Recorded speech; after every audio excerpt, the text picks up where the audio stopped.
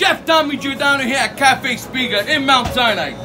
Okay, today's video is stuffed artichokes for a sweet little young lady, my cousin Kat Martino.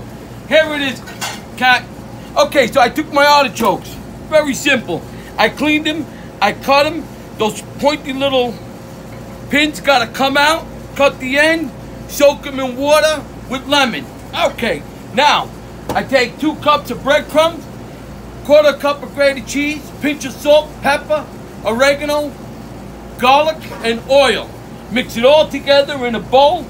Here's our breadcrumbs. You stuff all your artichokes. Not too much breadcrumbs, not too little. All right, now you get them in your pan. You put some nice olive oil and garlic on top, just like so. Okay.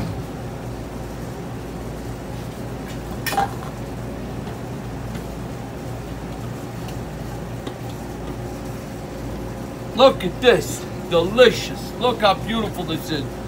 Big bowl of garlic and oil. Salt, pepper. Okay. Now,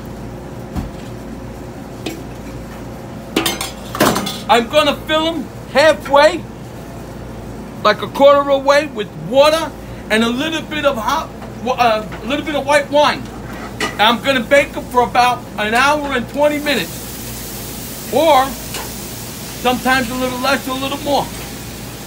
What I do is I take the artichoke out and I pull them as it's cooking. If the stem comes out, that means they're ready to come out of the oven. If it doesn't come out easily, you leave them back in there for another 10 minutes or so. Thank you very much for watching all my videos. You could go to YouTube at Chef Tommy Giordano. Love you, baby.